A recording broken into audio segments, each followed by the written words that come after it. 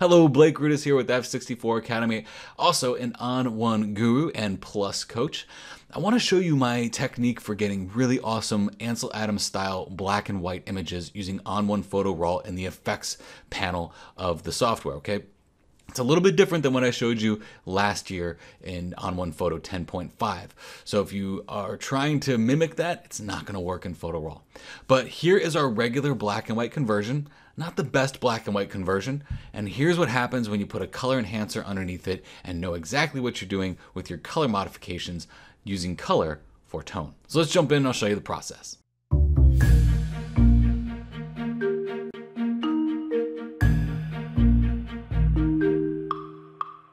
In the past, in ON1 Photo 10.5, probably around July, August, September of last year, something 2016, I showed you how to make these Ansel Adams-esque style black and white images using ON1 Photo 10.5.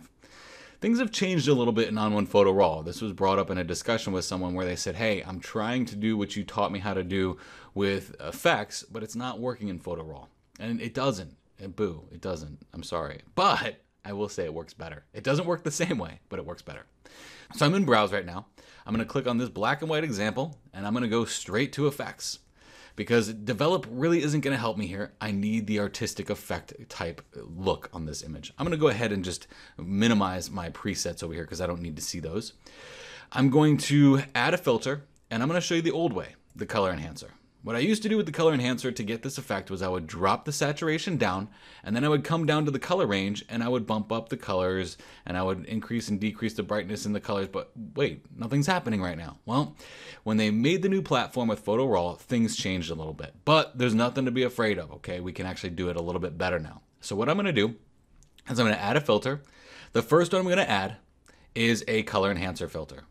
The second one I'm gonna add is a black and white filter.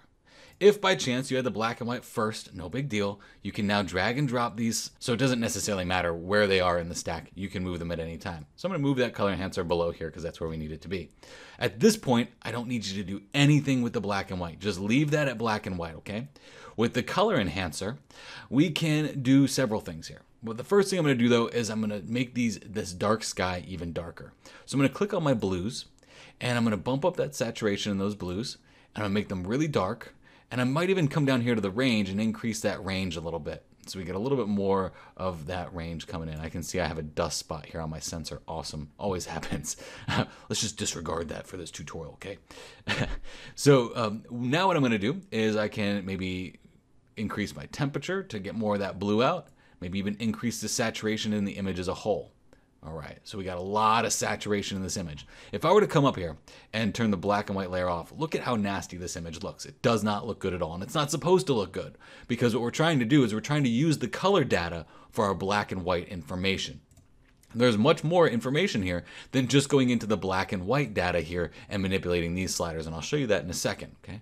So if we come down here to the color enhancer, we can then go ahead and to maybe our yellows and increase the saturation in our yellows to maybe bring about some more of the yellow down here in the trees.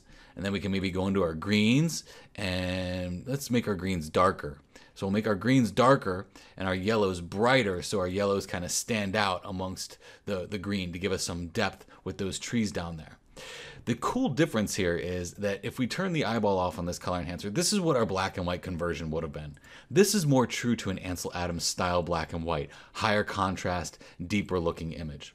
Now let's go up here to black and white. I still have blue sliders here, so I can still make that blue even darker, make it even darker right there. Maybe bring up those aquas to bring out some of those clouds a little bit, okay? If we were to just turn off this color enhancer though, Look at that. We don't get the depth of the blue that we do unless we have that color enhancer underneath that black and white layer to help us control that. So yeah, you do have color sliders here. But are these color sliders near as powerful as the color sliders that you see with color enhancer underneath? Not at all. From here, we can also adjust the tone.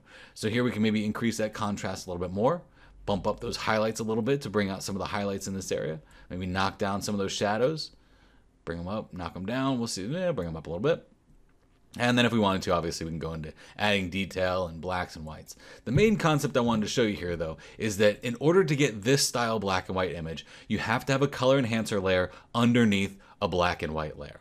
I could further push this by adding more filters above it to really get this black and white to where I want it to be. But what I wanted to show you here was just how you need to have this color enhancer underneath the black and white and we no longer need to drop the saturation down in it okay? Because that's not going to help us. If we drop the saturation down we lose all of that data that we had in the blue down there. So we need to have that saturation either hiked up or just right there stable at zero so if you like this tutorial, my name is Blake Rudis. Please comment on it, like it, share it, tell a friend. There's some really cool stuff that you can do with your black and white conversions here in On1 Photo Raw. So get your hands dirty in it and have some fun.